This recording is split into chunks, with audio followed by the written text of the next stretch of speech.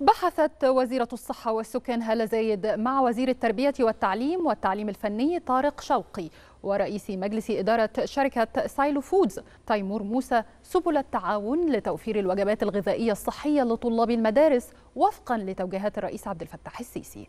جاء ذلك في اجتماع لمناقشة المحاور الرئيسية لتحسين التغذية الصحية لطلاب المدارس وللعلاج والوقاية من الأمراض الناجمة عن سوء التغذية. من خلال إتاحة الوجبات الغذائية للطلاب والتي تمثل أكثر من 25% من احتياجاتهم اليومية وفقا لتوصيات منظمة الصحة العالمية.